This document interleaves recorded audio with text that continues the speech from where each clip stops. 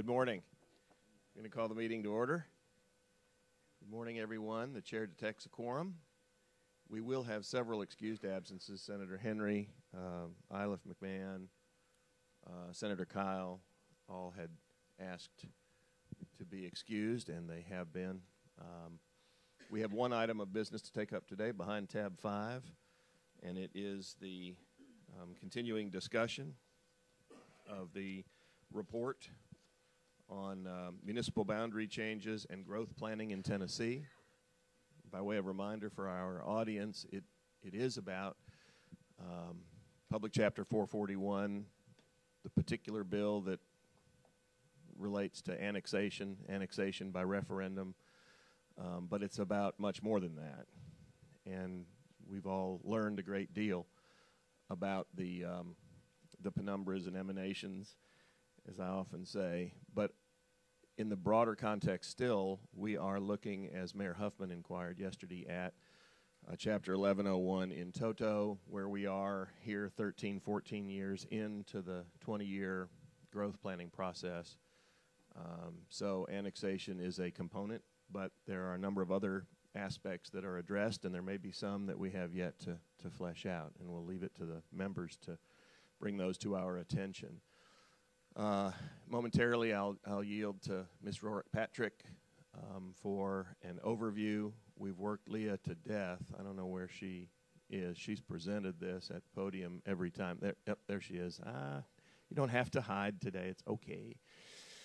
Um, but Lynnisse uh, wanted to give an overview about where we are and, and what the format is that has been presented and why it's presented in this fashion.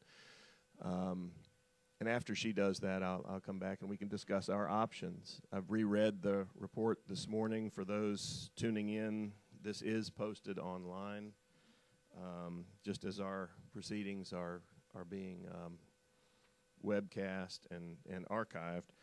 But the the report itself is 15 pages, not including the appendices.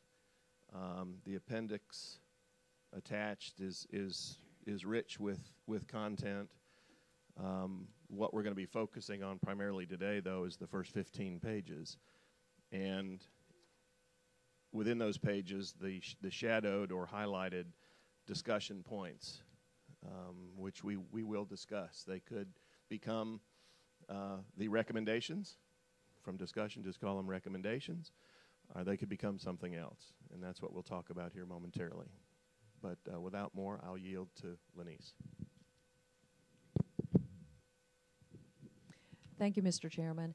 Um, I want to start by just reiterating the, the charge that we had at the last meeting, the plan that was developed by the Commission for moving forward to this meeting and preparing for it.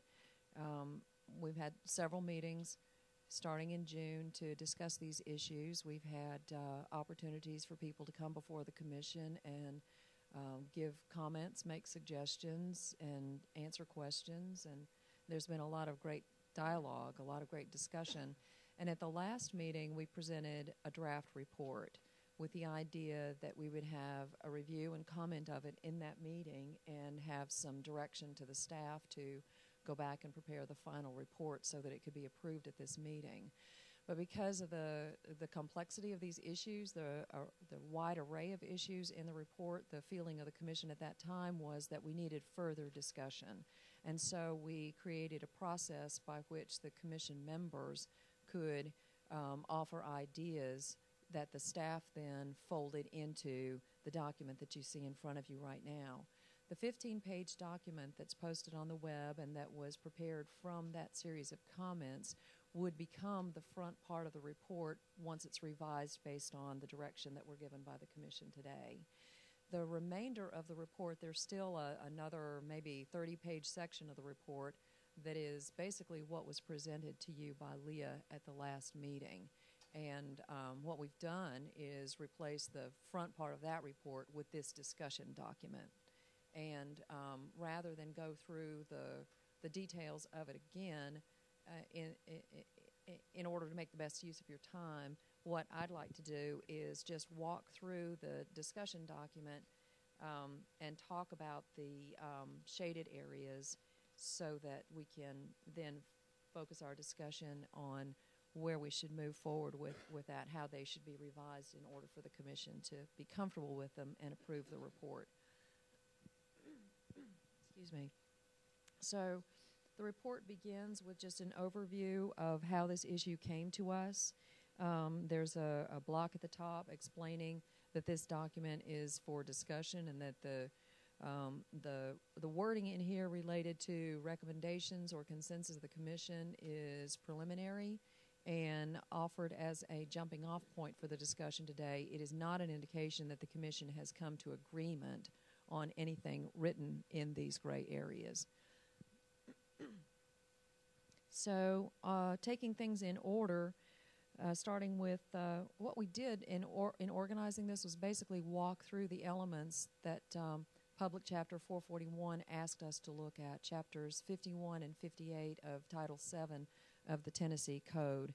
The first part of Chapter uh, 51 is uh, changing municipal boundaries, which is uh, clearly the, the main focus of the work.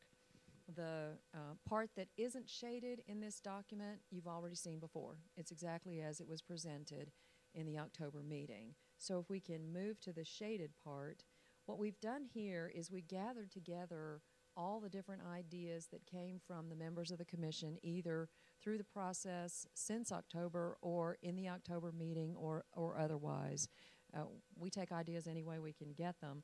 And we've, um, the staff did not comb through them, did not um, try to um, distill them in any way other than just editing them so that they could read together as a whole.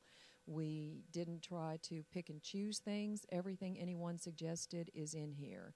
Um, we would imagine, expect that there would be even more ideas generated here today. So, the first discussion point relating to changing municipal boundaries focuses on or emphasizes the need for a more participatory process, one that gives people more control over whether and when they're annexed. Followed by that is a list of three distinguishable options, and these are, are presented for um, uh, consideration and the possibility that you would want to offer options rather than pick one particular thing to recommend. First is picking up on the main idea that was discussed in the legislature that led to the to the adoption of Public Chapter 441 is annexation by consent only, for example by referendum inside urban growth boundaries as well as outside them. We all know that Public Chapter 1101 in 1998 created for the first time in Tennessee a process by which some residents, some voters would be able to choose whether to be annexed or not. That occurs outside the urban growth boundaries that counties and cities worked together to adopt in uh, 2000 and 2001. Before that time, there was no opportunity for anyone to vote on whether to be annexed or not. After PC 1101, the area in which a city could annex without going to a referendum was limited to the to inside the urban growth boundary that was created through that process. So what this first bullet would do is say that there's an option that you could require a referendum everywhere, not just outside the growth boundaries, which would be a continuation of the move that um, PC 1101, in a sense, started. The second option is to have a vote on the, or by some other means, um, approval of the urban growth boundary by the voters, after which unilateral annexation could continue inside the urban growth boundary. This uh, would mean that um, after the coordinating committee had developed the plan, it would be put to the voters, and if the voters approve the plan, then the municipalities would be able to continue to annex as they have been since uh, since Public Chapter 1101 in 1998. The third option would provide for uh, after annexation, petition for removal from annexed areas or from removal from within the urban growth boundaries, provided that removal doesn't create the non contiguity that we've been concerned about or unincorporated islands, and that the city is compensated for its investment in municipal infrastructure other than whatever infrastructure would be paid for by the ratepayers who would continue to be on the municipality's utility system or what have you. The idea behind this one is that the cities would go ahead and proceed to annex as they have been, but that there would be circumstances under which and a process by which a landowner would be able to petition to be removed from that area, but there would be constraints on their ability to do that so that the cities would not suffer a loss as a result of having annexed the area or put it in their urban growth boundary and extended utilities and what have you. Thank you, Mr. Chairman. Who would pay that bill if you were buying those municipal infrastructure items back? That that's a good question and one that we haven't um, come up with a way to to work out. I know that in that there are many other states where de-annexation can be initiated by the landowners. I do not know, and Leah, you can stand up and chime in if you've got the answer to this. I don't know what processes they may have in other states for that purpose. If this were something that the commission and or the legislature wanted to pursue, we would do further research on it to to come up with ideas.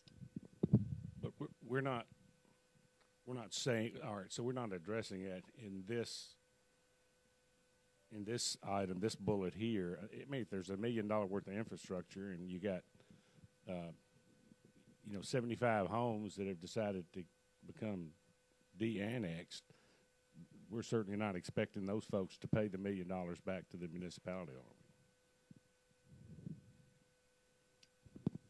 No, I don't think that's a reasonable expectation. So what this would happen, what would happen in effect is you would not be able to be de-annexed in a situation like that. All right. Bill? I think, I, think this is, this is good. What I want to do is, I want to get the overview, get through the, the fifteen pages generally. If somebody has a, a burning question, go ahead and don't hesitate to ask. But then we'll come back after the overview. Some of these are interrelated and, and take them block by block is what I propose to do.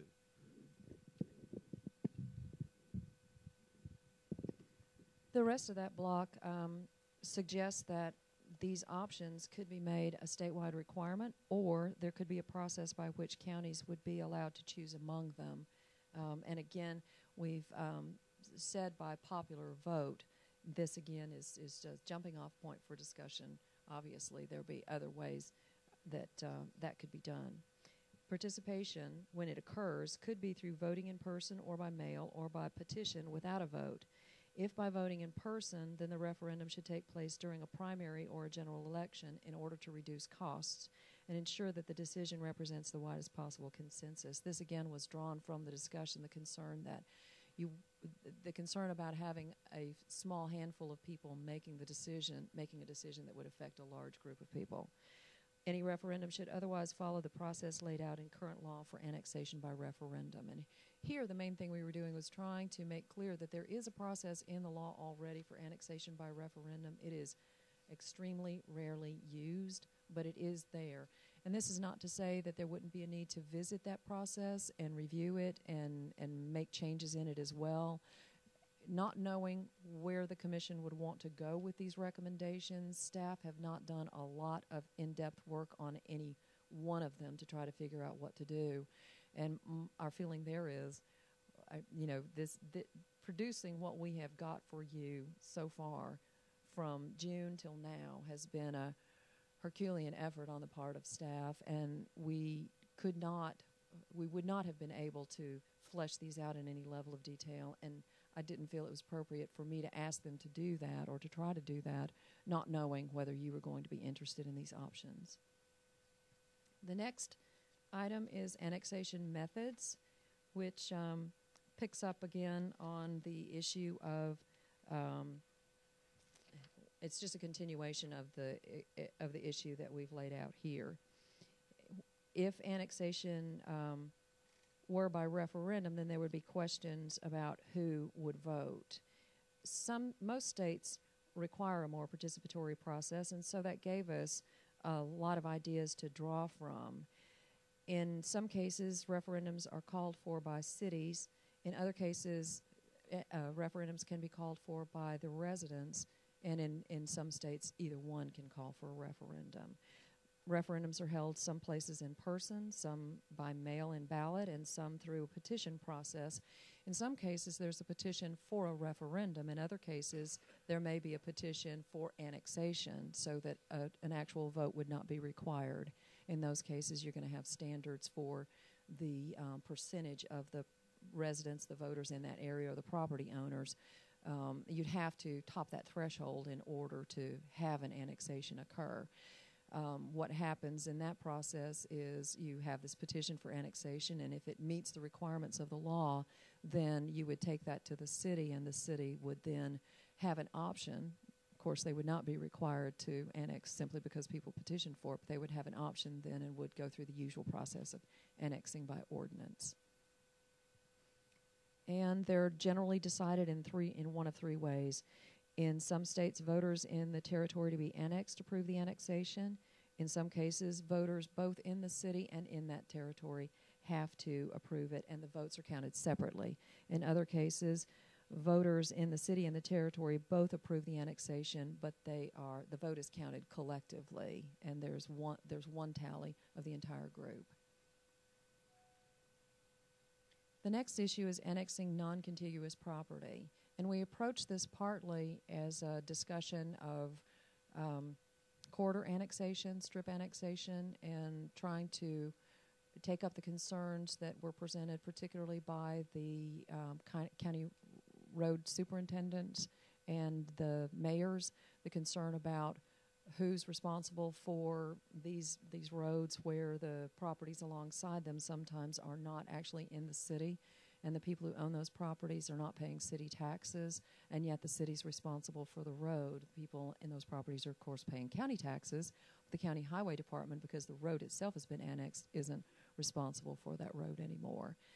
Uh, one of the things that we found in other states, and this frankly is not common, is the authority to annex non contiguous property. In nearly every state, that's limited to property that is government owned. It might be city owned property, and they have the ability to annex that in order to have control and set standards and, and so forth over it. In one state, however, we found that for purposes of creating industrial parks, that they have the ability to annex non-contiguous property. In other words, they do not have to annex something in between in order to reach it and make it adjacent to the city or contiguous with the city. Now, obviously, that raises questions. Uh, that doesn't clearly resolve all of the questions in relation to the infrastructure that's needed between the city and that non-contiguous area. The discussion point um, reads like this. While recognizing that it will create islands surrounded by unincorporated parcels, in order to avoid the problems created by corridor or strip annexation, the Commission supports allowing cities to annex certain non contiguous areas, including government owned property and property for commercial or industrial development, with the owner's consent. This is another way of, if a referendum process were adopted, it's another way of getting to a piece of property that someone is willing to sell uh, for, for development and that the city is willing to annex. The general requirements for plans of services should apply to the annexed areas, and the plan should address the unique problems created by annexing them, including provision for road and bridge maintenance and for emergency services, both for the annexed area and for the public infrastructure leading to the area. Um, again, this is a very general um, option. And again, it was drawn not from staff, but from the suggestions that were brought to staff for discussion and the details that that would be required in order to work this out and make it a, a tenable situation have not been developed. They would uh, have to be developed either after the report were done, and I know you want to take into consideration whether that is something that uh, could effectively be worked out but the option is in here. The next issue is notice period and method. We had some bills in the legislature that specifically raised these issues, so we wanted to be sure to focus on that. Um, the notice period in other states ranges from anywhere as short as one week in Kansas to 60 days in Indiana. Um, 10 states have a minimum of 14 or 15 days notice. Five states require a minimum of 10 days. Nine states require a minimum of 20 and 30 days. There's a wide variety of notice periods around the country, and in some cases, they're tied to the particular kind of annexation process that a state has authorized.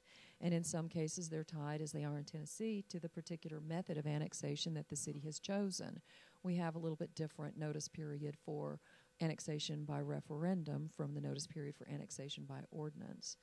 Um, let's see, two bills, just a, as a reminder, focused on notice of annexation but not notice of the hearings, and it was a little unclear to us exactly what how you would calculate what the notice period was when it was notice of annexation because the bills weren't one of the bills in particular didn't specify exactly what you mean by notice of annexation. Is that notice of the date the ordinance is adopted or is it notice of the date that the annexation becomes effective? So if a bill like this were to come were to move forward, it would need to be uh, more specific about that so that the, the municipalities would know exactly what they were required to do. The discussion point reads that the notice period and method for referendums under current law should apply to unilateral annexation as well. That that is by mailing a copy of the resolution in the case of referendum or a copy of the proposed ordinance in the case of unilateral annexation 14 days in advance of the public hearing. Notice in Tennessee is tied to the public hearing, not to the passage of the ordinance, and there's no particular tie, no particular um, law setting out the timing of a public hearing versus the adoption of an ordinance. All of that can occur in the same meeting. So, um, what we're suggesting here, what what the commission has, what members of the commission have suggested to us, is that the only change that be made is to extend the same notice period for the public hearing for uh, annexation by ordinance um, as already exists in the law. Right now, it's seven days for ordinance and 14 days for a referendum. And speaking of public hearings, we had a bill that would have added an informational meeting or two to the process. The only state that we know of that has informational meetings is North Carolina. And interestingly, that's a state that only allows annexation by referendum. It's a recent change in North Carolina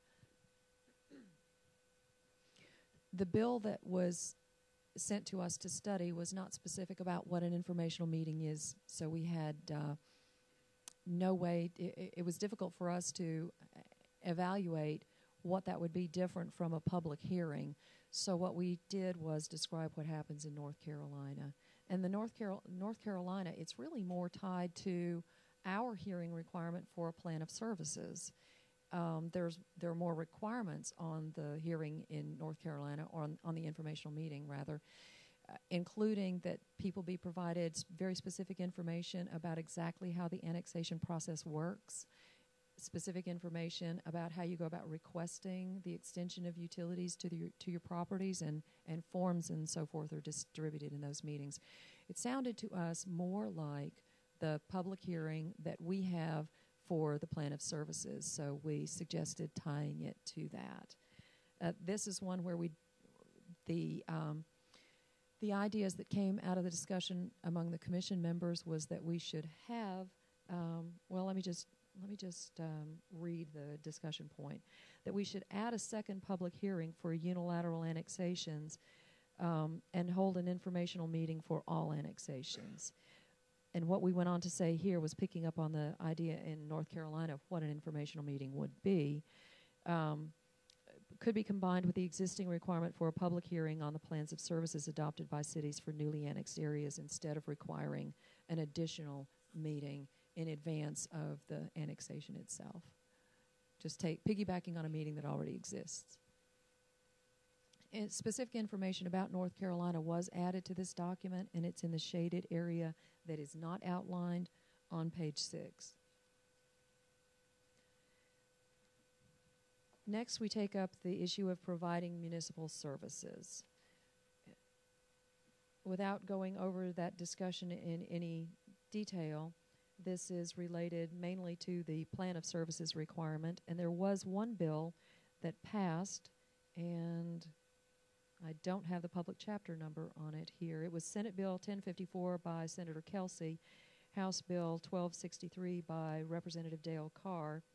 it had sections in the original bill that would have added some requirements for the plan of services, including standards for delivering the services and information on the financial ability of the city to provide services to the territory they propose to annex. Most other states also require a plan of services before annexation. 15, including three of the other, uh, what we're calling unilateral annexation states, require that budget or financial information be provided in plans of services. Picking up on that notion, the discussion point at the top of the next page suggests establishing a deadline of five years. Actually, that was a specific uh, su- suggestion offered by, or an option offered by commission members, establishing a deadline of five years for, for provision of the required services and inclusion of information about the city's financial ability to provide those services in its plan.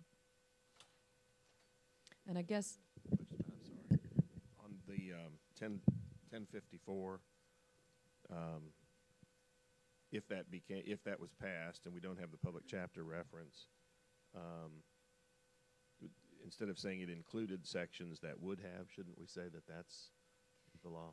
No, because those sections were, were amended out. They were amended out, I Yeah, understand. the bill passed without those sections. It Okay. was a bill, as passed, related primarily to the timing of taxes on the part of the municipality. Okay, yeah. And I'm going to take a little breath here to, to say again, in case I have created any confusion here in the way that I've phrased these things, the ideas came from the discussion of the commission members themselves. And um, I don't want to mislead you into thinking that the, the staff have created these um, without basing them on the ideas that the, the members have offered. And in some cases, I should make clear there has been no discussion among the commission. There is no consensus among the members at this point. These ideas may have been offered by one or two of, or a small handful of members.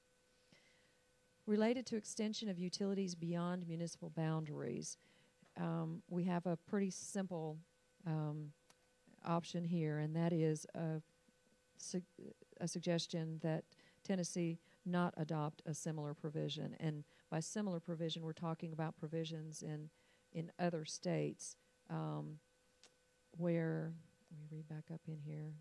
Idaho is the only state that's addressed this problem, and they addressed it by making consent to annexation implied in an area connected to a city water or sewer system, and that's contingent on a um, the request being made by the owner before July 1, 2008, which is, not surprisingly, the date that that particular bill became effective.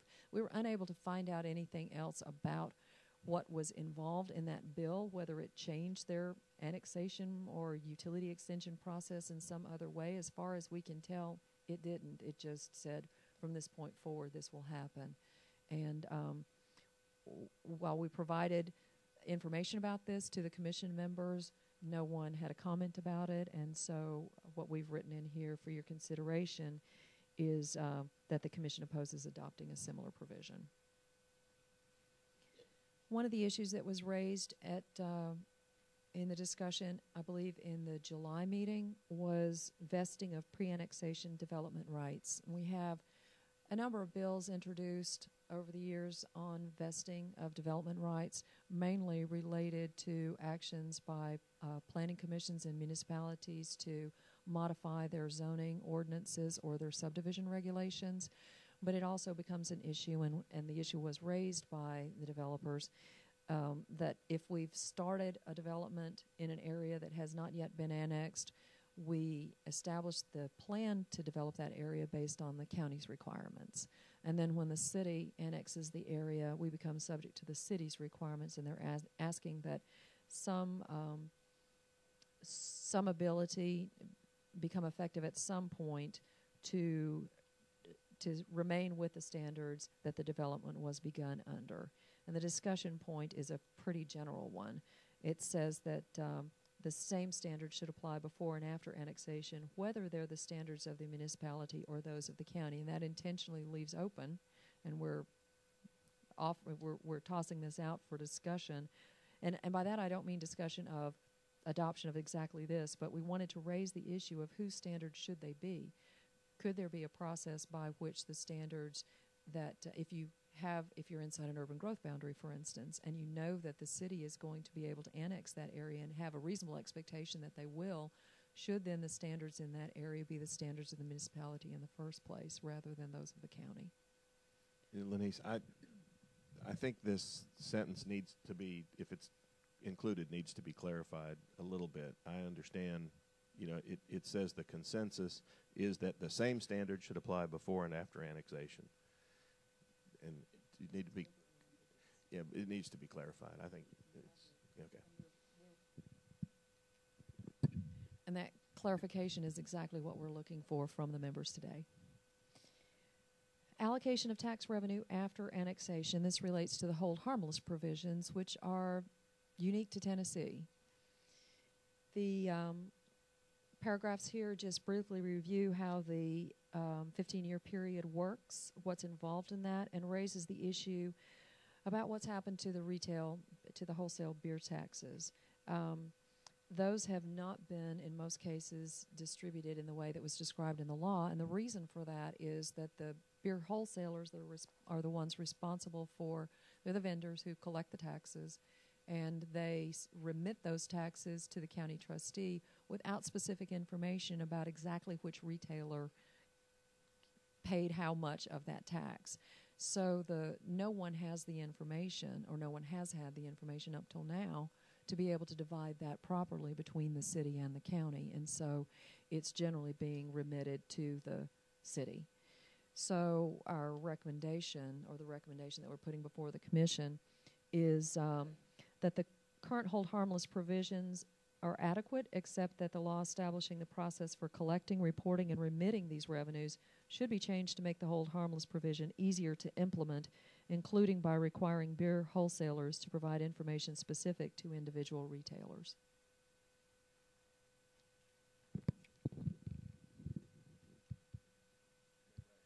Mr. Chairman, does that that means locus is what you're referring to? Situs. Okay.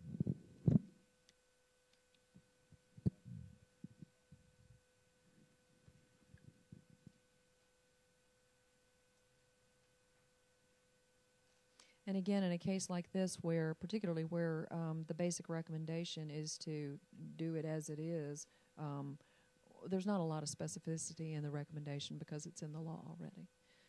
Um, but definitely, uh, we need to make clear that the individual retailers should be by situs. Yes. Annexation of agricultural land and other open space. Um, these issues have come before the legislature periodically, um, including a bills to prohibit annexation of land subject to conservation easements. The only bill related to open space currently pending is Senate Bill 1316 by Senator Bowling, House Bill 1249 by Representative Van Huss. This bill would prohibit annexation of land in urban growth boundaries that's zoned for agricultural use until a change in use is triggered by a request for non agricultural zoning designation or by sale of the land for a different use. One of the issues here is that we have 47 counties that don't zone, and if you're in an urban growth boundary outside the city limits, that land will not be zoned at all. So that bill, if it were to move forward, would need to be clarified. Only eight states restrict annexation of agricultural lands. Several several prohibit annexation of agricultural or rural land. Different states use different terms and define them in different ways. Two states allow owners of annexed agricultural land to request de-annexation. In Idaho, owners of annexed agricultural land greater than five acres can petition the court for de-annexation. Ohio allows owners of unplatted farmland to petition the court for de-annexation. Those are some examples of the ways that other states have implemented something like this. The discussion point says that land used primarily for agricultural purposes, as well as state and federally owned open lands, should be subject to annexation only by consent. The expectation is that uh, you know a, a, state park or uh, something in the area that a city wanted to annex that you would work with them and and get their agreement on that. It would uh, and it um, the expectation is that they would consent and that you would go through an ordinance process. Moreover, any such lands currently inside cities' corporate limits should be allowed to be de-annexed or on petition by the owner, again as before, provided that it does not create non-contiguity or unincorporated islands, and that the city is compensated for its investment in municipal infrastructure other than those associated with rate-paid services. And again, these are jumping off points for discussion. It is not our expectation that that it, that uh, an, an option like this would be adopted exactly as it's worded.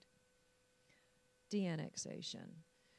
The commission um, had no specific legislation to consider here, but that is part four of chapter 51, which we were asked to review, and so we've provided a, a brief review of that, including a look at other states. 13 states authorize only property owners to initiate de-annexation. In Tennessee, de-annexation can be initiated only by a city. Nine authorize only cities to do so. 14 authorize either. A majority of states require a referendum or consent to complete the de-annexation. It works basically in the same way their annexation would work.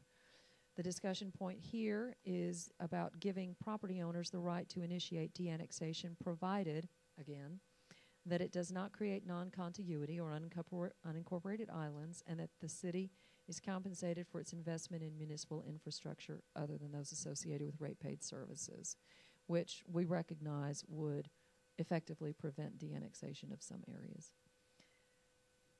Mutual adjustment of corporate boundaries is, um, I think I said, the, gave you the wrong um, part number on de-annexation. It's part two. Municipal adjustment of corporate boundaries is part three. Ten other states have specific laws authorizing cities to adjust their mutual boundaries, usually through a simultaneous process where one city deannexes the property and another annexes it. In Tennessee, this can be done by contract between the two states. And I believe Iowa, Leah, is another state where that can be done by contract. But I believe also in Iowa, it requires some form of consent from the property owners.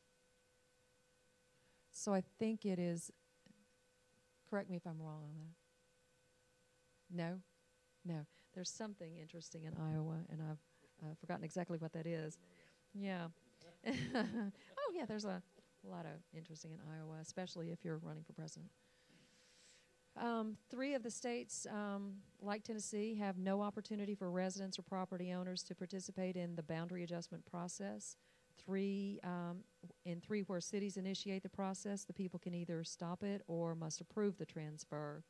The discussion point here says consistent with the recommendation to create a more participatory process for annexation in general, the Commission recommends that a public hearing be required before any adjustment of corporate boundaries.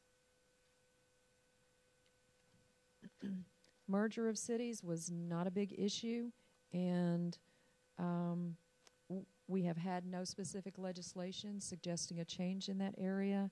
And to keep it simple, the uh, discussion point says that the Commission finds existing laws governing merger sufficient.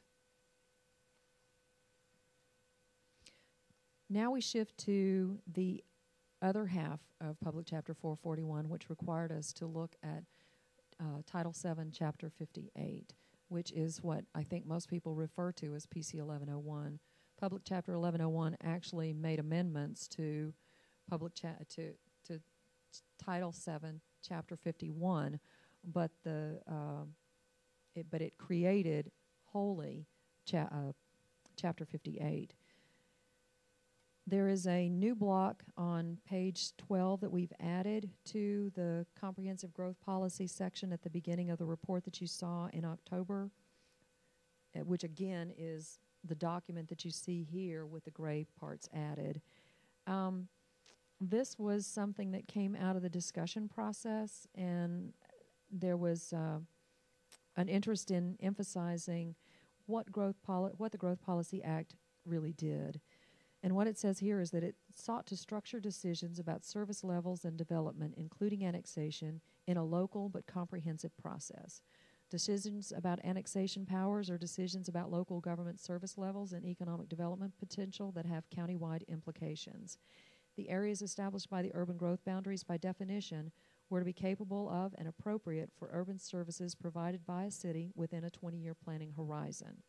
The law requires representation of many key stakeholder interests through the mandatory composition of the coordinating committee, the public hearing process, and the required approvals of the local governmental legislative bodies. Other than through public hearings, there's no direct participation by affected residents and property owners.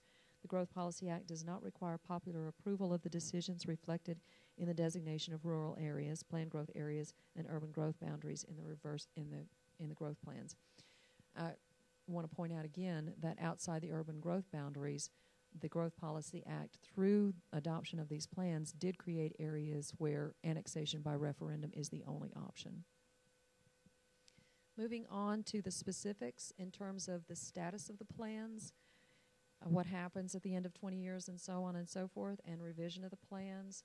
The um, the option that you see at the bottom of page 13, drawn from the discussion of the members, is that all growth plans should be reviewed and either revised or readopted within two years and every five years thereafter. The two years part relates to a specific suggestion that was um, put forward by one of the members.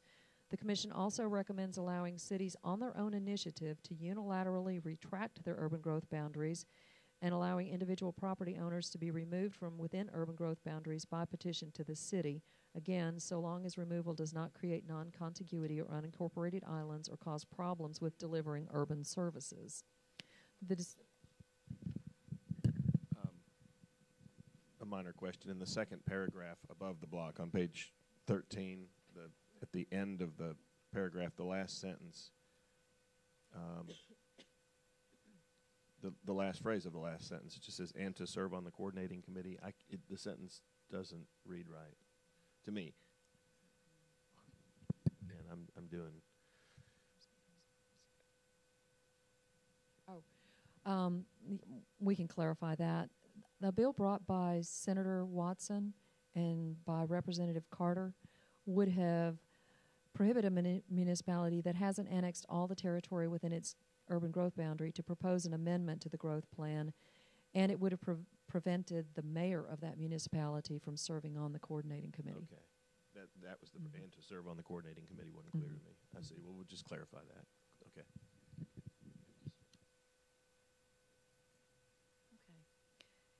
Following that discussion point, we separately sectioned off a discussion point in a large block on page 14.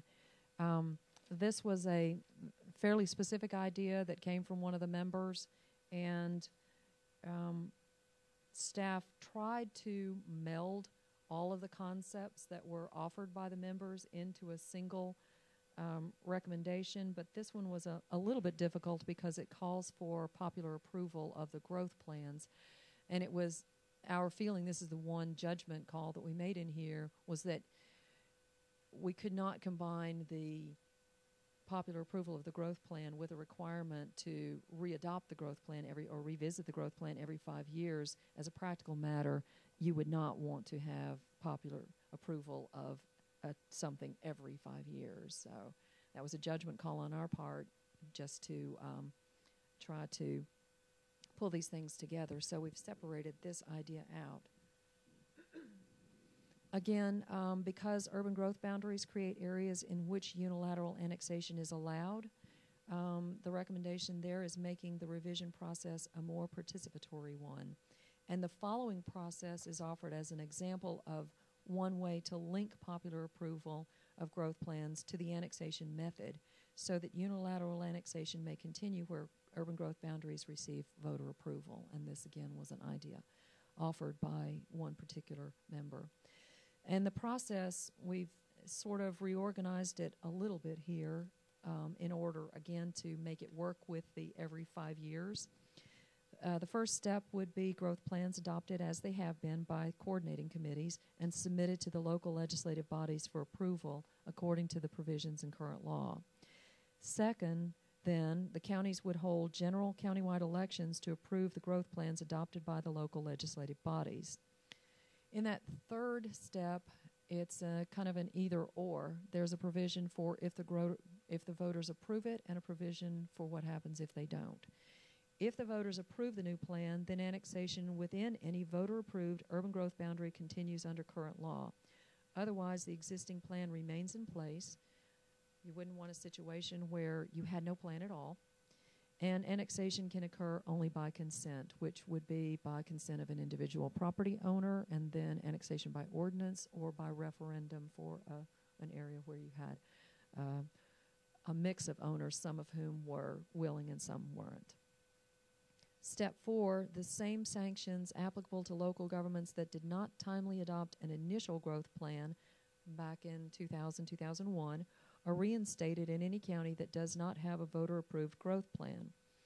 The um, option that came to us was not specific about that, but pretty clearly what that means is the grants and things that you had to have a plan to be eligible for, you would become ineligible for if you didn't have a voter approved plan.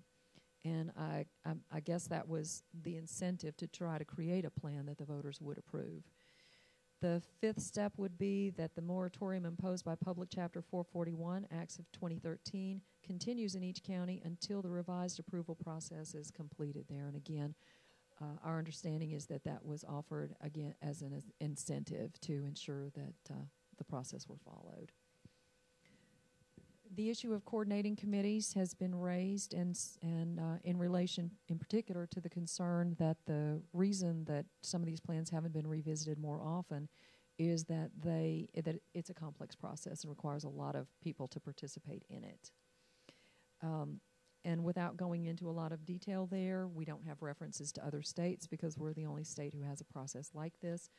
Um, the discussion point is that the Commission recommends no changes to the composition of the coordinating committees, and this comes from the fact that no particular options were offered to staff by the members. The last piece relates to the Joint Economic and Community Development Boards. The discussion here has been that some of them are highly productive and others are perhaps not as much needed. And there's concern, again, one size doesn't fit all. Some need things to work one way and some need things to work another way. We had talked in the meetings about a situation where you don't have uh, economic growth or you don't have a lot of economic growth going on in the area at the time, and you may have not a lot to get together and discuss as often as the law currently requires that you do it. The discussion point there, um, and there was some discussion about the difference between the coordinating committees and the joint economic and community development boards, and the only um, suggestion that came from the commission members was um, the possibility of moving the functions of the JECDBs to the coordinating committees. So the discussion point reads that um, the commission allows recommends allowing local governments to decide for themselves how often the JECDBs and their executive committees should meet and whether to move the functions uh, to the coordinating committees responsible for developing the growth plans. And that's with that, we'll have a question. All right. Um, several ways to proceed at this point. I want members to be able to go back and talk about any particular questions they have or, or different ideas. Um, the Public Chapter 441, as amended, requires TACIR to respond to the General Assembly, make recommendations, and propose particular legislation, if any, by January 14th. Setting the stage here. As a practical matter, that would mean to meet that deadline in that fashion, uh, our group today would have to approve uh, what is submitted by the 14th um, in order for it to be reprinted and finalized and distributed timely. Um, we had talked in October about the the problem that that presents because our next meeting is currently scheduled is not until the end of January. I think it, is it the 30th and 31st, a couple of weeks after the deadline. Um, this report, in in one sense, could be, if approved by the commission, um, you know, by converting some of the shaded areas from discussion points to recommendations, it could be submitted, and I think comply with the the uh, the requirements of Public Chapter 441 as amended. Um, but at the same time, I've heard several members express um, sentiment that they'd like to drill down further. Uh, they may want to change some of these, but even the ones that, that apparently there is some consensus on, people would like to work on them more and, and, and, and have more detail. Um, so we've got several options, and, and I think probably the best way to proceed parliamentarily is for us to, the chair to entertain a motion that we adopt this report we're not voting on it yet, but to get something before us that we can actually discuss um, in toto, I would entertain a motion that we that we accept the report um, and then have have discussion about it. All right, properly moved and seconded. Any discussion on the motion? All right, hearing none, all in favor signify by saying aye. Aye. Any opposed or abstaining? Fine. All right. Now then, the report is before us for, for further discussion, and I'll yield to anyone seeking uh, recognition. Mayor Huffman. Thank you, Mr. Chairman.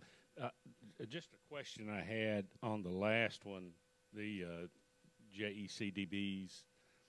Have have we ever looked at? Has TACIR ever looked at allowing the J, the Joint Economic Community Development Board, to also be the Industrial Development Board?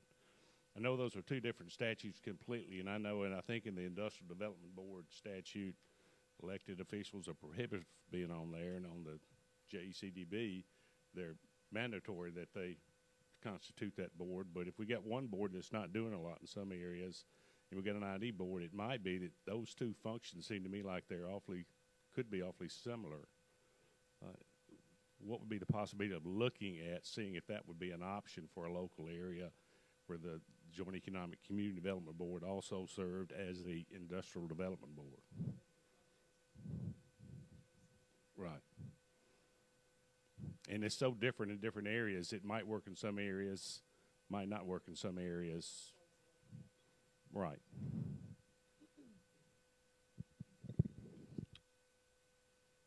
Right, so we'll consider whether that could be an, a local option. Um, and as as you mentioned it, Mayor, it would be that industrial development boards be moved to the JECDBs. Could the reverse be true? I'm, I'm thinking out loud, which is dangerous. It it it it's possible, but it, you'd have to. One of those is going to have to be changed, regardless of what you do. And keep in mind your industrial development board.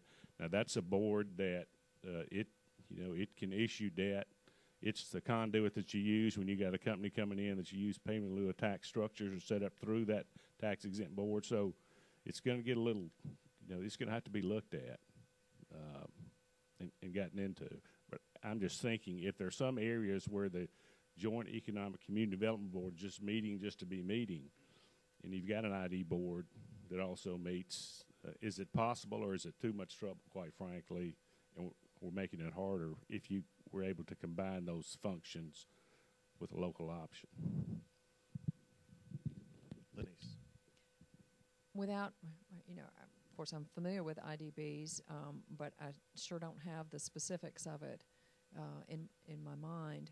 But it would seem that one possibility for the commission would be to recommend that that be offered as an option, and if the commission sets that out as an option to allow a local uh, legislative body to adopt, then if the legislature is interested in moving forward on that, then we could all work together on exactly how that would happen.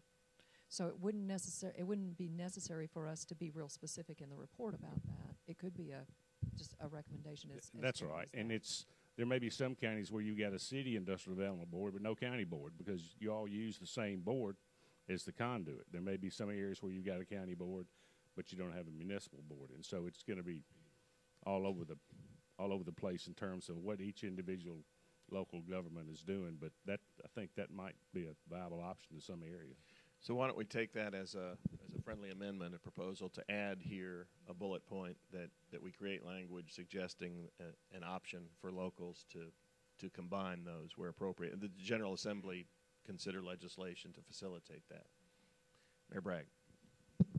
I, I wasn't there when this was proposed, but the, the IDB is no elected officials, and the Joint Economic Board is a requirement. I, I don't see how the two fit together, and I, I, I just defer to the chair.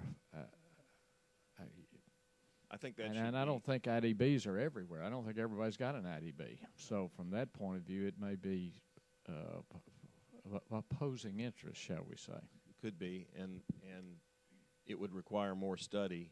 Um, certainly, giving it a, as an option where it where it might work um, doesn't seem to do to, to do any harm. That there's an underlying concern about economic development throughout this whole discussion that we haven't really talked about. I don't recall talking about specifically here, but to, to what extent does the current construct facilitate economic development? There are those who say that this is this is what's driving the economic engine in the state, the construct that we have. There are others who, who are skeptical about that and, and, and aren't quite sure. But with the renewed there's always an emphasis on economic development, but there's a current focus on it as it relates to workforce development and education and everything else that that it surfaces some of these questions. You know, it could be that the recommendation of TACIR would be General Assembly just do away with the Joint Economic Community Development Boards altogether. I remember that was discussed early on because are they really doing any good? But I'll yield to Vice Mayor Rowland on that. Thank you, Mr. Chairman. Um, just a clarification that Mayor Huffman brought up earlier about who's going to reimburse municipality for the investment made in a de-annexed area, and just food for thought, it, it not it wouldn't necessarily just be infrastructure. It could be a fire station, which would be very expensive in that area. But that's food for thought. Also, I serve on the IDB, and my county mayor serves on the IDB. Are we violating the law? Uh, we'll take that up in private session. No. Well, I don't mind stepping down. Thank you, Mr. Chairman.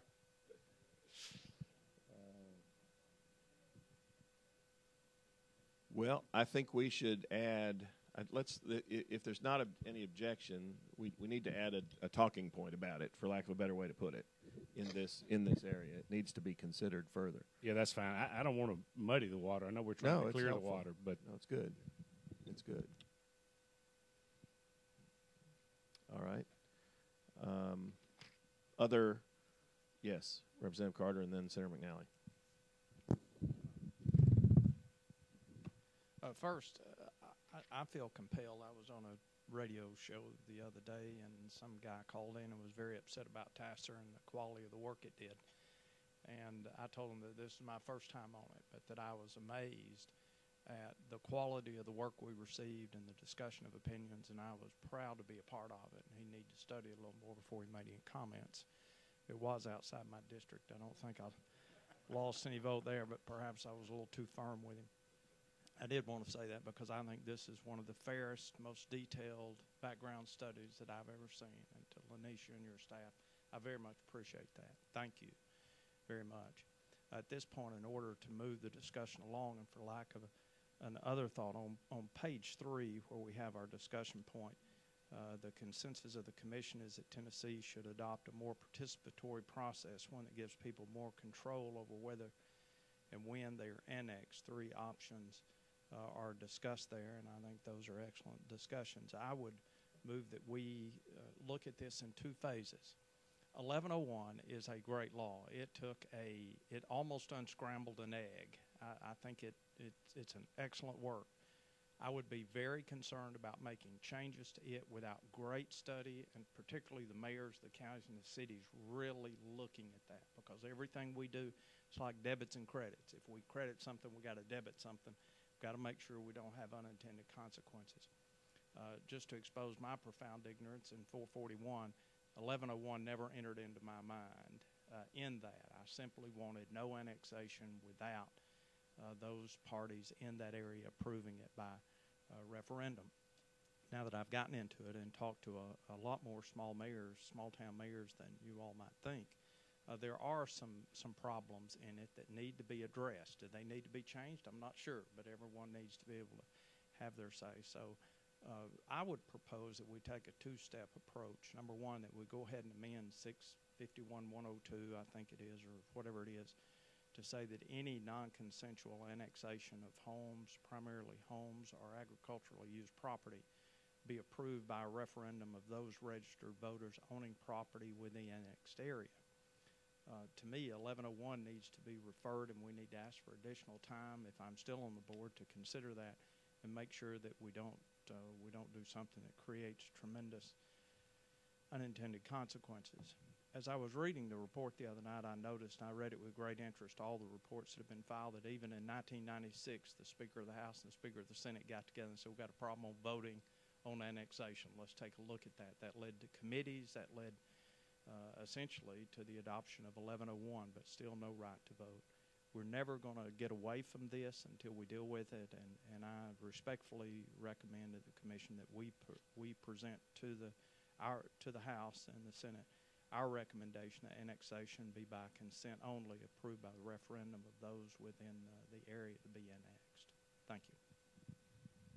Just point of clarification, Representative Carter, I, are you saying that, that that should be the only discussion point recommended there, or that it, sh- it should just be rephrased slightly as you stated it, but still included with, with these options? Uh, no, I would I would want to present it just like I phrased it. Number one uh, is is the recommendation or the motion, if that's appropriate. I don't know that that is appropriate at this time, but that would be the motion that I would have that, that we would present, and finally end this and allow people to vote on something as serious as annexation and the effects that it has on them. Thank you.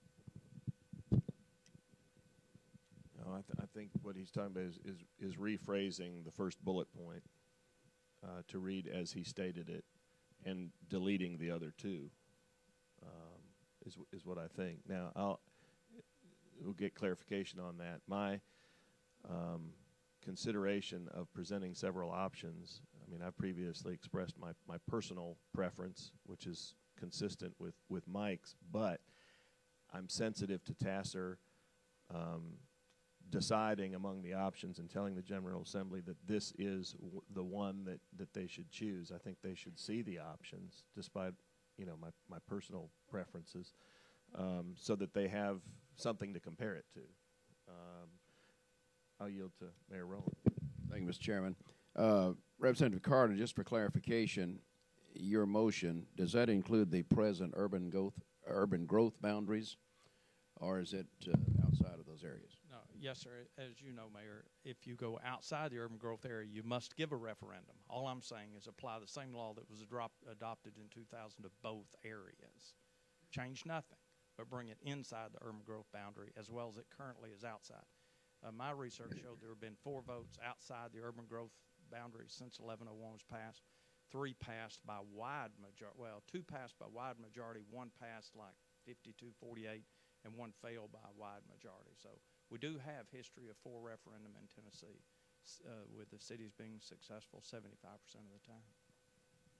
Thank you, Mr. Chairman. Any further questions on on that, uh, Chairman Sargent? Thank you, Mr. Chairman. I know uh, Representative Carter and I have taken opposite sides on this issue. And for mine coming from a very different side, maybe, uh, in front of everyone there's a letter from the Middle Tennessee mayors, if you look at it. And this is from Davidson, Cheatham, Maury, Montgomery, Robertson, Rutherford, Sumner, Williamson, and Wilson if you think of it, and I'm going to go to a, maybe a little different terms. If you think of it, this is the economic growth probably here in the state of Tennessee. Probably 60% of all the population, I'd say at least two thirds of all the population growth in the state of Tennessee in the last t- 10 years, two thirds of it's probably come from those counties right there. These counties have worked together very closely the urban growth urban growth boundary lines have have worked. They've met. The, the city planning commissioners have met. They work with the county planning commissions when lands are supposed to be uh, inside the urban growth boundaries. When land is being looking at annexation and there's going to be a subdivision, the counties and cities work together. The you know this uh, cities try to get the uh, counties to uh, go in their planning and build it to where it will fit the city uh, zoning and regulations uh, when it is annexed in. And what I don't want to do, this has worked very well. And as you know, outside the urban growth boundaries, you know, you have to take a vote. I personally, and I think most of my mayors, my city mayors, my county mayors inside the donut, say around Davidson County, this has worked very well. And we have a, a city mayor here that's inside there. We have a county mayor uh, that would maybe like to pick up on this. And these are plans that have been going on for long for a long period of time. We know where we're going to annex and how the growth is going to be. It's no different than I'll use uh, Highway 8 State uh, Route 840 has come through Williamson County and come through some of the cities. They have all worked together and looked at planning and zoning in those areas because going back in Williamson County, I'll use an example, every five years they go back through their planning. Well, all of a sudden we have a, I'm not going to call it the interstate because it is State Route 840, and we had commercial land out here now that was zoned rural, and it was you know one acre, one house per five acres, and you know some of this had to be redeveloped. They had public hearings. They they held public hearings uh, in all different areas of the county. They all came back and worked together. We had a, a community crossroads, what they call a community crossroads, where there were new uh, development, and they went to a hamlet, and they, they figured out a way to get your commercial property out there, you, you know, your little convenience store, your gas station, and things of this nature. So the problem I had last year was they wanted to make this for everybody. And normally over the years, we've been able to eliminate counties and or cities from different laws, and people say, well, it's unconstitutional. Well, we can use that on a lot of things we do up here. A lot of things are unconstitutional. But if we're going to do something, I, those who have a problem, and I know there are some problems, but those who have a problem, let them opt into something instead of letting us opt out, if you want to put it that way. It has worked very well in these areas, and I, I know I, I represent a complete different area. I mean, I have growth of our schools probably over half the counties haven't grown total population in the last 10 years as my school has grown in the last 10 years. And we've gone from 21,000 students to 33,000 students, and a lot of counties haven't grown 12,000 people. And it's worked in a, you know, in a very metropolitan type area like this. This has worked. This plan has worked well. And I haven't had the complaints, and I don't know where some of the plaints, complaints are coming from, but I want to say 1101 has worked excellent in these areas and you know, I know a rural area is a little different, and I, I, I won't even try to speak for that. But you know, I, I don't want to get into you know, I have nothing against uh, voting outside the district, but I think this has been in place 15 years. That people knew this was coming. They've had public hearings, and they continue to have public hearings on this. Uh, and then, yeah, I, I just don't want to mess this. Uh, what we have is such a, a good situation here in Middle Tennessee. I'm not going to speak for anywhere else, but I think Mayor Burgess and uh, uh, Mayor Brad can speak on that. How how well I think it's worked now. You know, they're both the county mayor and city mayor. I think they can explain it probably more eloquent, eloquently than I and better than I. But I think it's worked in these areas. Uh, Senator McNally was seeking recognition. You are recognized.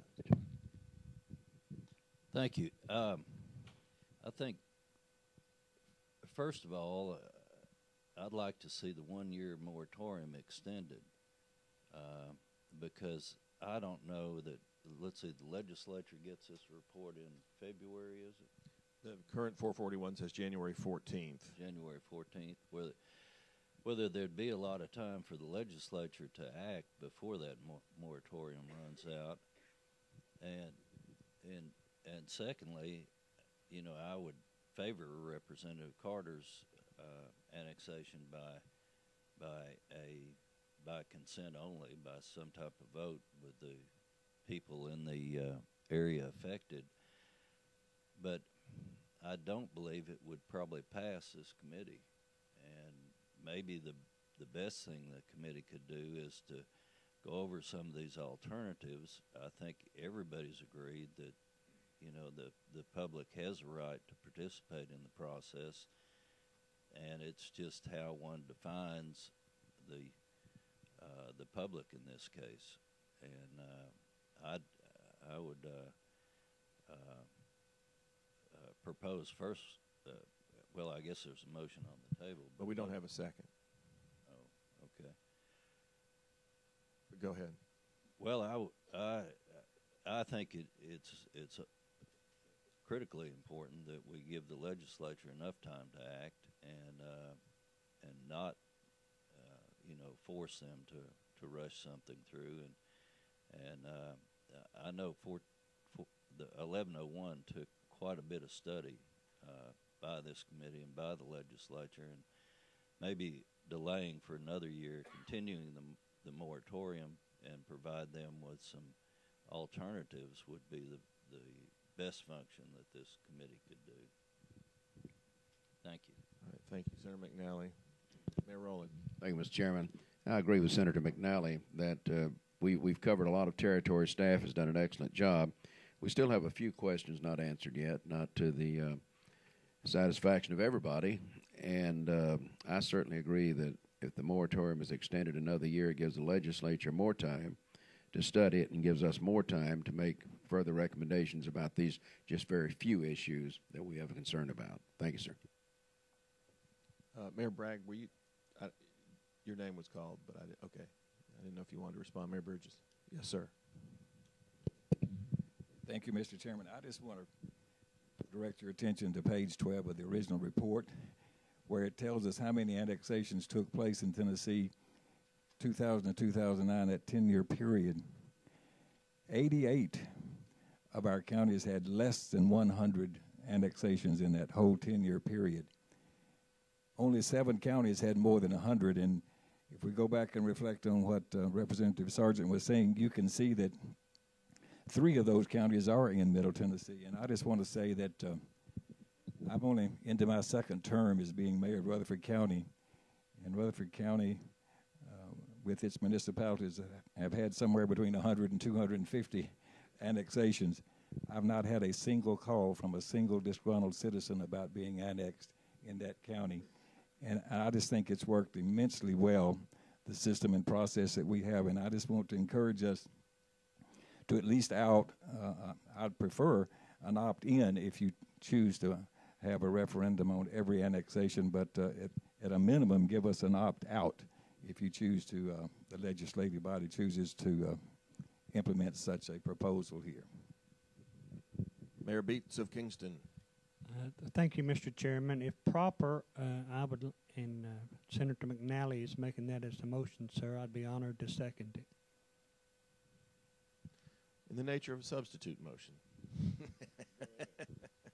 Uh, it's been moved and seconded that we suggest we recommended the legislature that the moratorium be extended for one year. Representative Haynes. Thank you, Mr. Chairman. Was there not a motion on the floor from Representative Carter? And if there was, could we restate that? I know I, I don't believe it got a second, it but did but, not. but could we restate that? that motion? now there's a now there's another motion that has been seconded. So, uh, further discussion and and uh, what's the will of the body?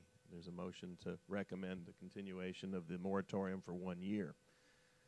And again, it's just a recommendation. You know, the General Assembly would have to modify what is now Public Chapter 441. Chairman Sargent, you seek recognition. I understand this is a compromise, but I know one of my cities, well, it's not actually in my district, but I count Williams County as my district, uh, had to put off an annexation because they just wanted to see what was happening. Uh, it's a town at Thompson Station, and they would get ready to annex some land, and they just said, well, you know, we'll just hold off. It wasn't an emergency situation, but I think there is a person looking at it. And I know we can go back through it a different way, so I'm going to try to do that. But just because I know the way growth is in Williamson County. Now, in that motion, this still will take out commercial property. Am I correct? The current was the- uh, uh, that's correct. Commercial is excluded. That's correct. That's the current law. And, and I appreciate the motion, but I'll probably vote no against the motion strictly because I know I have a, a city that's uh, not in my district but in my county looking at uh, some of this. Thank you very much. Remember, this is the Tennessee Advisory Commission. Okay, I know some of us legislators tend to forget that when we're sitting here holding these mics and voting, it's like we're actually in battle, but we're trying to give instruction to the General Assembly when it reconvenes on January 14th. Editorial comment, Mayor Bragg. Uh, one other thing, and I just want to point out, there is redress through through the courts for annexations uh, uh, by ordinance. Uh, when you do take residential property or agricultural property, you always can go to the courts. And we have a situation in Rutherford County in Murfreesboro where a, 200 plus homes were surrounded by the city because of annexations by request. And those, uh, that annexation, I believe, was uh, done in 2006, and that's still in the court. So I, I just hesitate many times to to rattle with laws because they get tied up in the courts and we don't ever get a resolution. I think a lot of people still remember that many of the cases from Knoxville from 20 plus years ago are still tied up in the courts. So uh, we we have that resolution. Those that we annex because they got surrounded are not in the city because they have filed suit, uh, quo warranto, and uh, that's always a remedy. They're not paying property taxes. They're not receiving city services. So uh, you might just keep that in mind as we look at this uh, referendum issue. And I think cities and counties gave up a great deal when we agreed to uh, the rural areas and the planned growth areas to allow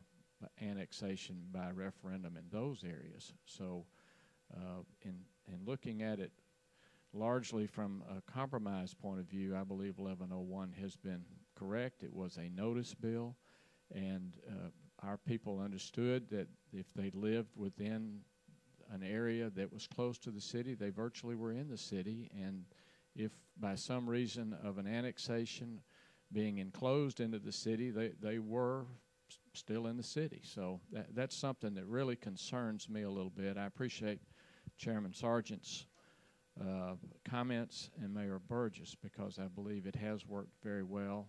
Uh, we did have one area of about 30 houses, I believe, that got surrounded that, that, that actually went to court with quo warranto. And then after about four years, just decided they'd come in the city. We've heard no complaints from them regarding city taxes. Uh, city taxes in Murfreesboro are about $50 a month for a $200,000 house. So you can uh, compare that to the cost of a cable bill, uh, to water bill, to whatever else you want to compare it to to get uh, ISO 2 fire service, to get garbage pickup, yard waste pickup, uh, codes, engineering, uh, public safety. Uh, there's just a lot of things involved there, and we've had no complaints in the city of Murfreesboro once they've been taken into the city because they've been surrounded by the city. So I just hope we'll consider that. Thank you. Thank you, Mayor Bragg. Any further discussion on the motion to amend to include Senator McNally's uh, motion that we recommend to the General Assembly that the moratorium imposed, I'll recognize the moratorium imposed by Public Act 441, which was a moratorium from April 15th, 2013 through May 15th, 2014, be extended by one year. I've restated the motion. Mayor, Representative Carter first, and then Representative Odom, please. Representative Carter. Uh, on the extension, I don't know what times are going to work out by legislation and all that. Could we uh, consider amending the motion to say that the moratorium would continue until a bill is passed, so that there will be no time between the two? You see what I'm saying?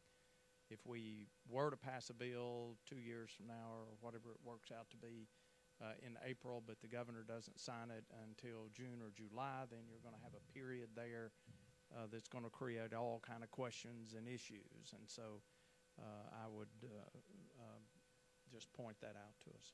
Thank you. Representative Odom.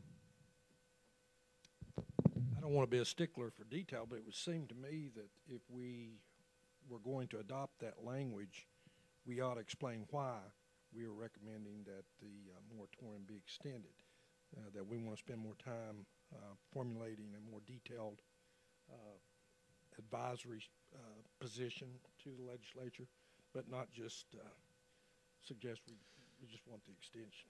Representative, could we, to that point, after we vote on this, on Mayor on Mayor McNally, Senator McNally's motion, well, it depends. Um, then get back to the remainder of the report and, and say that we are considering these as recommendations. You know, it would give us time to consider what has been set forth, something to that effect. Okay. And I think to Representative Carter's point, that would have to be, you know, dealt with in the actual legislation amending Public Chapter 441. That maybe it's uh, until a bill is passed, you know, not I don't know how we do it, not not less than one year, but as soon as a bill is passed, something like that, so to have some certainty. Is that generally clear to, enough that you feel comfortable? Yeah, yeah, right. All right, then I'll try it on a voice vote. All in favor signify by saying aye. Aye. Any opposed? Any abstaining? Good. The ayes have it. All right. Now, the report is is amended to that extent. Is there further discussion desired at this point as to these other shaded areas? Whether it it will be TACIR's recommendation that we do these things, or TACIR's recommendation that we give further consideration, or some combination of the two. Mayor Bragg? Uh, Mr. Chairman, I'd like to clarify if, uh, if, for the purposes of the Commission's recommendation, that it would be registered voters who are property owners who get to vote. That would be a motion. Now, this is, uh, let, let's, let's clarify that further. Sarah McNally? Yeah. What What about the case where the property's in my wife's name because she earns all the money, but I'm a registered voter? Would both of us get to vote, or just the one? Just the one. And and how would? well, she votes a lot better than I do. I think. How would the election commission then make that decision? Uh, they'd have to look at a registered voters list as well as a uh, the as well as a property owner owners list.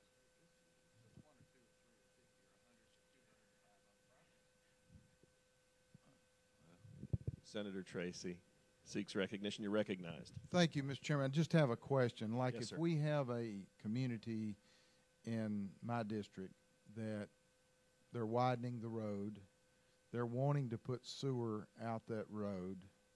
During, if there is another moratorium, can they go ahead and annex that to put sewer there? They want to go ahead and do it because of the economic growth in particular area. Uh, this community has been working on this. We've been working on this road for since you were chairman of transportation, so we want to get it widened. Uh, it affects Nissan, Nissan's growth area. If there is a moratorium, my question is, can they go ahead and annex that property to put sewer there? It is a, would it be commercial? I don't know. I, I want to ask Well, it question. depends on what they're putting sewer to, I suppose, but I would think the initial answer would be no. Um, now, they can extend it on other terms. I mean, if, if there's no objection, but I don't think they can annex to do it. Um, Representative Carter, your yeah, point? that presupposes that annexation is necessary for the institution of utilities. And the two, it's oil and water. They don't exist together. They do in practicality, they do not in law. If you want to run the water, the sewer, you can do so. It has nothing to do with annexation. Remember, the law says that utility must stand alone and on its own without the municipality behind it.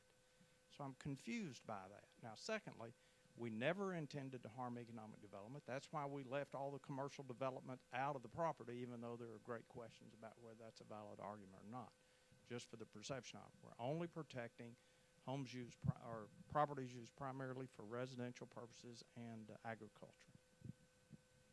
So yes, and finally, and I'm I'm sorry.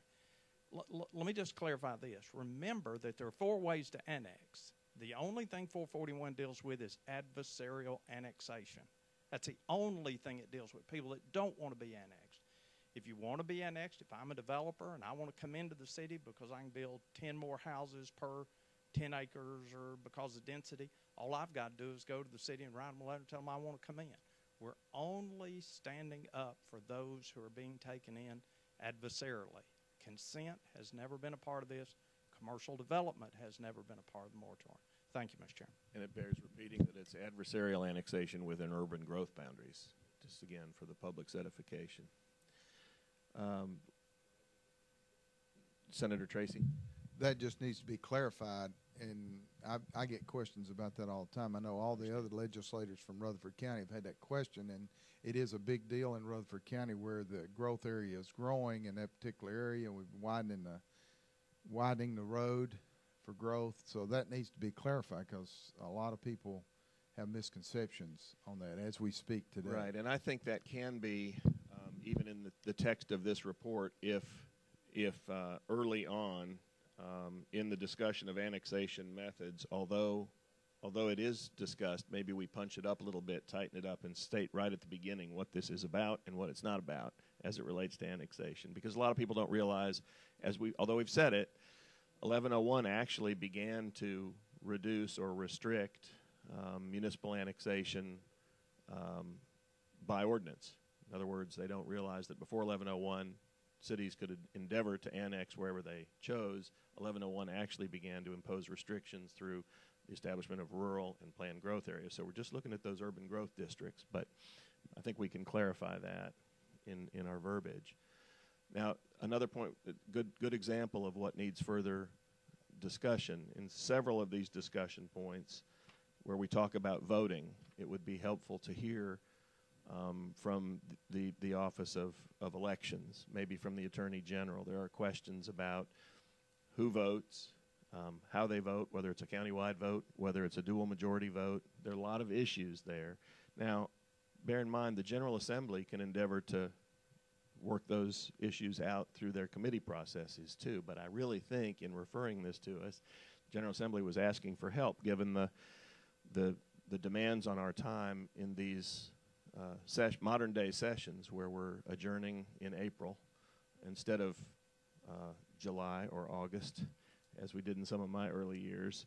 Um, that's what TACIR's designed to do is to help refine the issues so the General Assembly has options from which to choose in an educated fashion. So, so we still have before us the remainder of the report.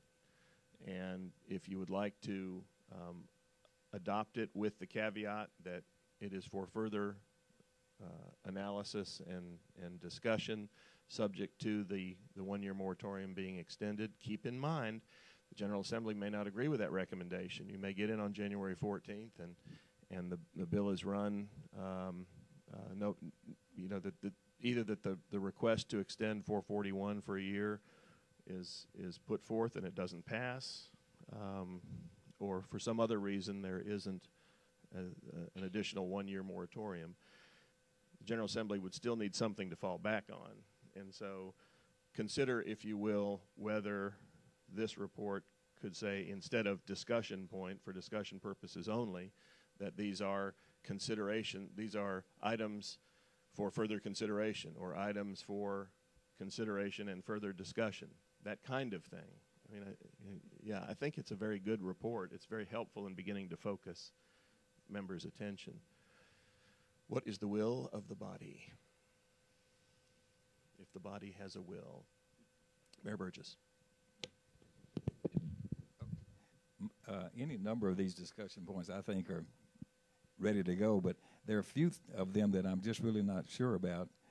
Just a simple thing under the discussion point on page eight, where it says the commission recommends establishing a deadline of five years for the provision of the required services. I don't even know where to start to begin to define what is required services. Somebody's going to have to really drill down there before that could be practical. Yeah, Mayor Beets. Yeah. Well, and I just had one more. Um, and then this business where we talked about in at least two of them that w- the utility or the municip- municipality would have a right to recover its investment cost. I don't, I mean, that's going to take a huge amount of effort, somebody defining how that process works and who's going to pay for that.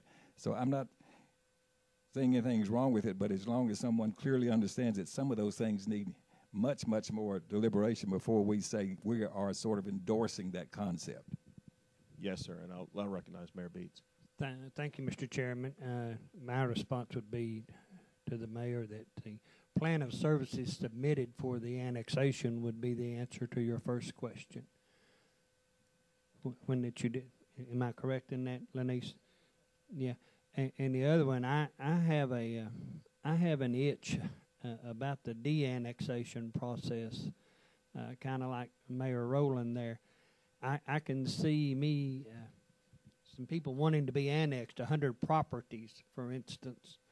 And based on that property tax increase, I go borrow some money from Bone Seavers to build a, a park in the middle of my city, and then those people wanting to de-annex be de-annexed, and me being stuck, my old people, with paying off the note. Plus, those people would still have the the benefit of uh, of the park. I, I I know that's a a stretch there, but it, it's certainly a possibility, and I, I I'm not comfortable with that. Thank you, sir. And, and you're not the only member. I've had several others express concern about that too. And again, it's a nettlesome issue that's going to take a lot of a lot of detailed analysis. And I think what we're trying to do is come up with the phraseology here that gets to Representative Odom's point. The, the commission recommends extension of the moratorium by one year or language to that effect uh, in order to uh, further drill down on these on these issues that need further discussion. Um, Mr. Shumpert. Just for clarification, I think one of the reasons for de-annexation has been a real concern that the services have not been provided within the five years. That's right. Or within, that they're not provided. And so what's the alternative there? Right. So it's a two-edge. If you don't de-annex, what are you going to do to the city if they do not provide the service? Right. And in many cases, citizens don't have the the resources to sue and to pursue litigation to enforce their rights. Mayor Rowland. Thank you, Mr. Chairman. Uh, good point, Mr. Shumpert. And let me ask Representative Carter, he may be familiar with this.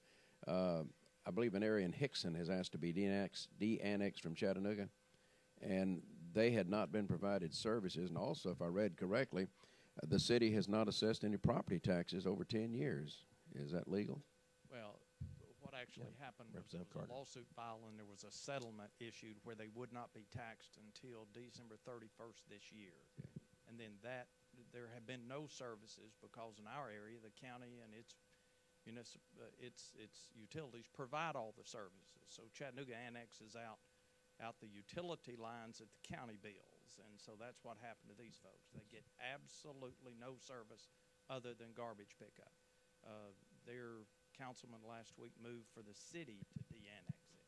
Okay. Uh, on their uh, motion, it failed uh, five to four. Yeah, that's an unusual situation. It was. yeah. Thank you, sir.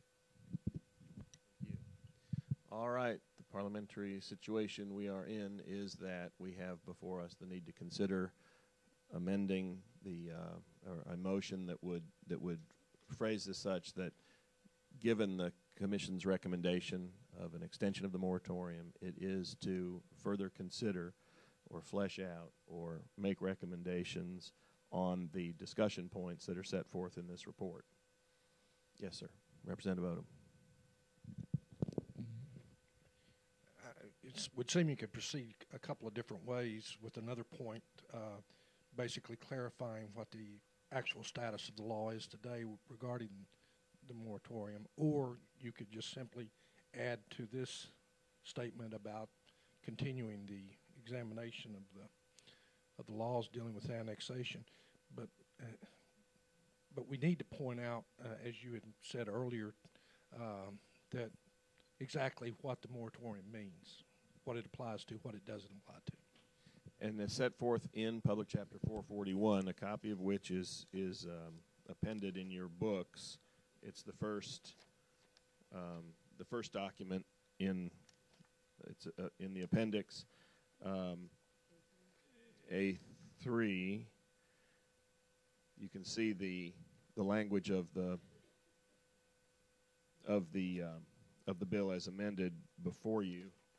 Public 440, Public Chapter 441, that notwithstanding the provisions of this part or any other law to the contrary, from April 15, 2013 through May 15, 2014, no municipality shall extend its corporate limits by means of annexation by ordinance upon the municipality's own initiative pursuant to 651-102 in order to annex territory being used primarily for residential or agricultural purposes, and except as otherwise permitted pursuant to subdivision A2, no such ordinance to annex such territory shall become operative during such period. As used in the subsection, municipality does not include any county having a metro form of government. And so what's been proposed is that the deadline be extended to not later than May 15th, 2015, or uh, as such time as a as a another bill is is passed by the General Assembly dealing with the issues set forth in this report. All right, given the present posture, I'll entertain, a- yes, yes, yes, Mayor. Mr. Chairman, as, as Representative Odom has pointed out, I think uh, we have adopted the report today, but I think it is also very important that we tell the legislature that this is a work in progress and that we have other, we other questions have been raised that need time to be addressed, so that we don't, to use uh, uh, Representative Carter's words, uh, we don't have unintended consequences that are going to put us in a jeopardizing situation. So I think that's very important. And I appreciate that. I think we would need another vote on, on adopting the report in its modified form, subject to the, the motion that's already passed on extension of the moratorium. And I'll entertain that motion. The center, would you like to make that? Ma- Representative Odom makes that motion, seconded by Mayor Center, Vice Mayor Rowland. Discussion. All in favor signify by saying aye. Aye. Any opposed? Abstaining? It's unanimous. All right. Approved, and we will have that written up in, in form sufficient to, um, to discuss, not only to transmit to the General Assembly, but to discuss further. Our work is not over. We'll be back here in January to, to uh, continue to focus on these discussion points. Questions, comments? Is anybody going to sing uh, any Christmas carols here today? He's thinking about it. He's been warming up those pipes. well, all right. Great work, members. Thank you so much. And um, if there's nothing further for the good of the order, then we will adjourn until our January meeting in 2014. Thank you very much.